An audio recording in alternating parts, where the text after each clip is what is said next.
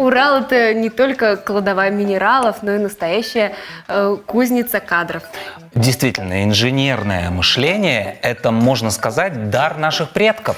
Что делать, если в своем ребенке вы увидели интерес к робототехнике или машиностроению? Чтобы ответить на этот вопрос, давай прогуляемся в детский технопарк «Кванториум» в компании нашего корреспондента Дмитрия Солюкова.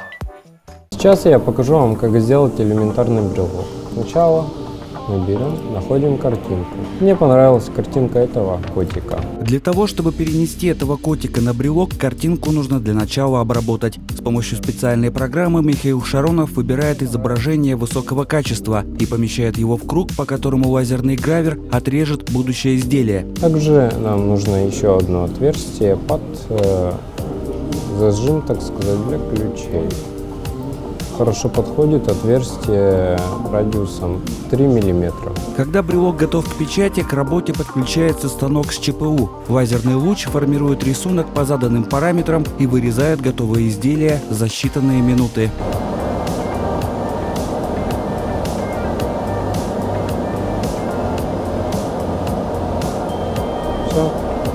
Михаил занимается направлением хай-тек в детском технопарке «Кванториум» уже два года. Рассказывает, здесь у него есть возможность узнать и понять, как создаются вещи, которые нас окружают. На современном оборудовании можно изготовить любую деталь или устройство, начиная от брелока, заканчивая электронным устройством. Юный инженер с гордостью показывает один из своих проектов. Это космический поднос для разогрева еды, частички которой по задумке не будут разлетаться в условиях невесомости. Здесь было установлено три вентилятора. Также здесь был разогревочный модуль.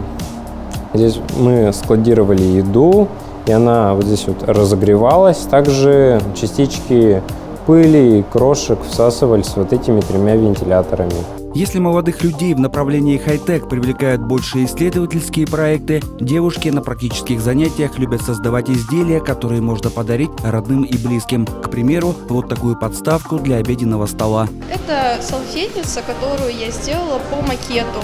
Нашла в интернете, перенесла программу, переделала чертеж под себя, какую я хотела. Потом перенесла на флешку и уже лазер вырезал мои чертежи.